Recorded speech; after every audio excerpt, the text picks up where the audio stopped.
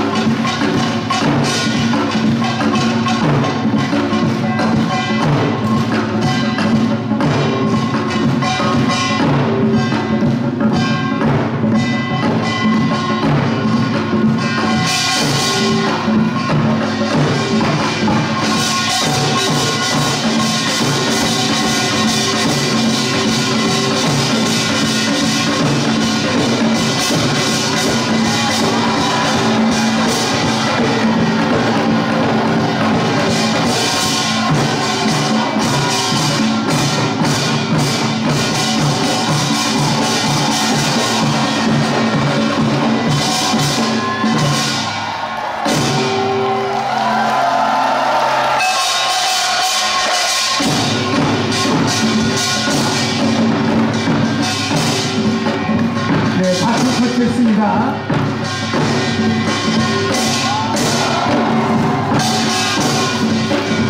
자,